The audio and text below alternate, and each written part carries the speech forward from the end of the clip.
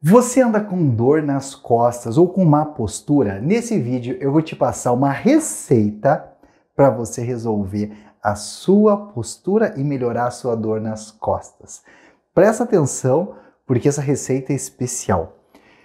E é uma receita diferente, porque todo mundo vai ter esses ingredientes em casa. E se você conhece alguém que quer uma receita mágica assim como essa, encaminhe esse vídeo para o seu amigo. Vamos lá?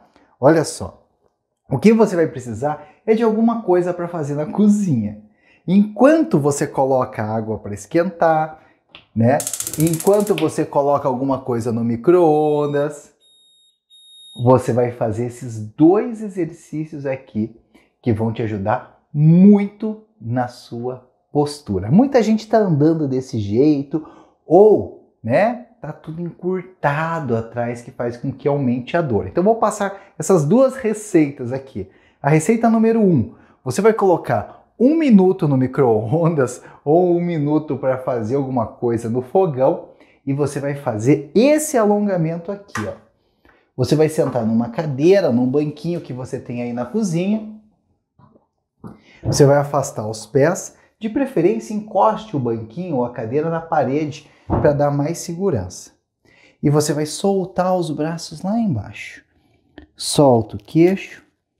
Isso, e desce o máximo que conseguir para sentir alongar a parte de trás da sua perna. Pode ficar um minuto nessa posição. E o próximo exercício é muito bom. Você vai fazer sentado do mesmo jeito.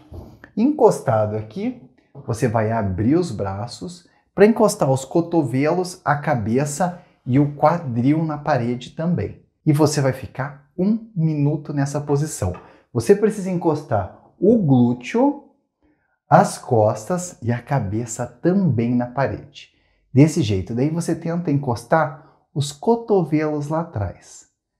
Postura, um minuto nessa postura. Olha só, esse primeiro exercício, para você fazer na cozinha mesmo, ele vai alongar a parte de trás do seu corpo.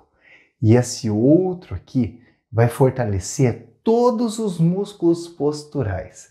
Isso é perfeito para quem diz que não tem tempo de fazer exercício e que está ficando com dor nas costas, com má postura e a gente consegue com formas simples fazer em casa e aproveitar o seu tempo. Se você gostou dessa receita para postura, receita para melhorar a dor nas costas, se inscreve no canal, porque toda semana eu posto um vídeo muito legal assim como esse. Um abraço, até mais, tchau!